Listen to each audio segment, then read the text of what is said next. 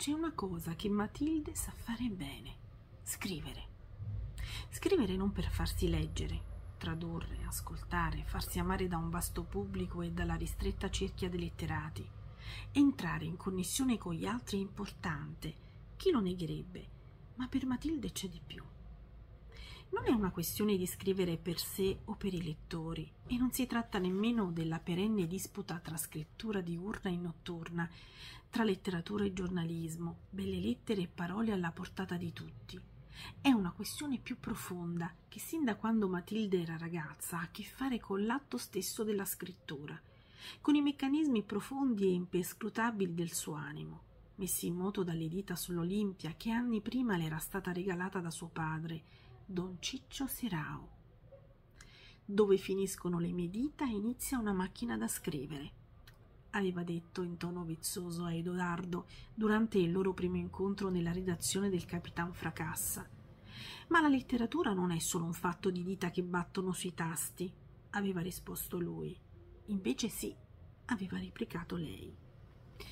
Questo è uno stralcio tratto dall'ultimo libro scritto da Massimiliano Virgilio, Luci sulla città, un'inchiesta per Matilde Serao, edizioni Feltrinelli un bel libro, davvero un bel libro. Un libro particolare perché è un, uno storico giallo, un giallo storico. La protagonista è proprio Matilde Serao che Massimiliano Virgilio ha immaginato nei panni anche di una investigatrice.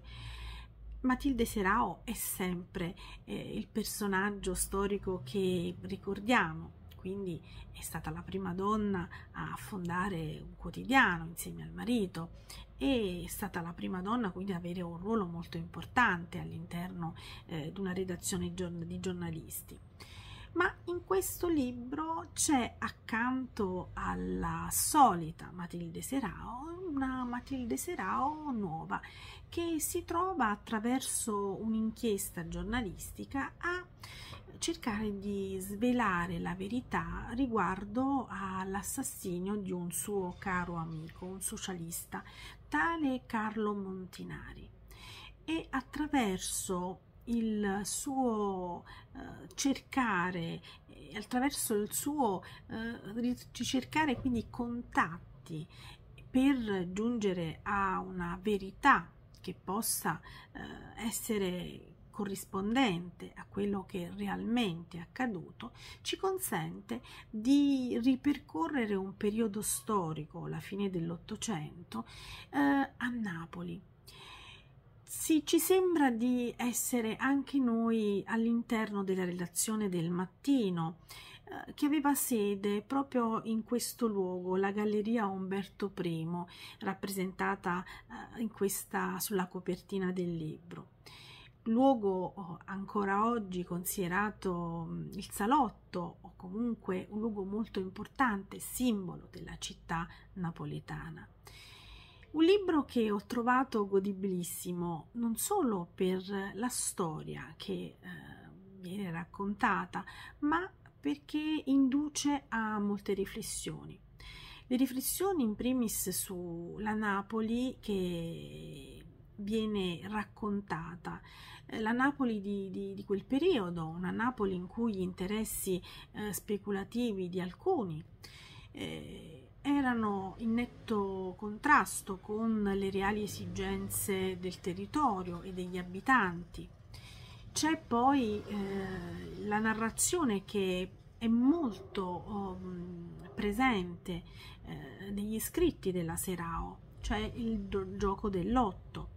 Infatti del racconto, del romanzo Il paese della cuccagna c'è tutta una eh, serie di pagine, un racconto molto eh, del lotto, considerato dalla Serao una vera e propria piaga. E in questo libro è presente anche questo, come è presente la difficoltà della Serao con suo marito e l'amicizia con la divina Eleonora Duse e quindi si alternano a pagine piacevoli, divertenti, eh, anche pagine in cui ehm, c'è una profonda riflessione, come dicevo prima, sulla Napoli di allora, i vizi della Napoli di allora che non può non riportare a quelli che sono i vizi della Napoli di oggi, raccontati da varie eh, da, non solo dalla Serao ma anche da eh, registi eh, sceneggiatori nel corso del tempo.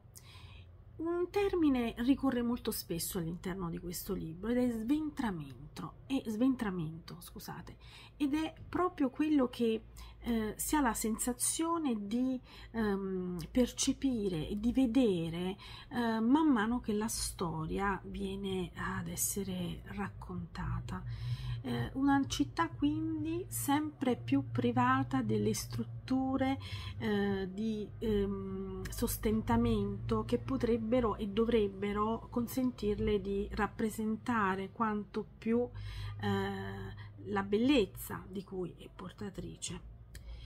Un libro che eh, fa anche riflettere sull'importanza del, dell'inchiesta, mm, l'importanza del lavoro dei giornalisti, l'importanza eh, di una ricerca della verità che sia davvero eh, tale e che non sia soggetta ad altre logiche. Quindi diciamo che questo è un libro che eh, conserva, per così dire, la gradevolezza di una storia che ha, consentitemelo di dire, eh, la genialità di aver utilizzato un personaggio come la Serao per eh, svolgere un'indagine e nel contempo eh, ci eh, pone di fronte a dei quesiti eh, che riguardano Napoli, città eh, ricca di tante cose belle, ma anche vittima di eh, predatori che eh, utilizzano meccanismi che non sono mai cambiati e che purtroppo determinano il suo sventramento. Un libro quindi da, da, leggere che consiglio vivamente e quindi Massimiliano Virgilio, Luci sulla città, un'inchiesta per Matilde Serao. Alla prossima!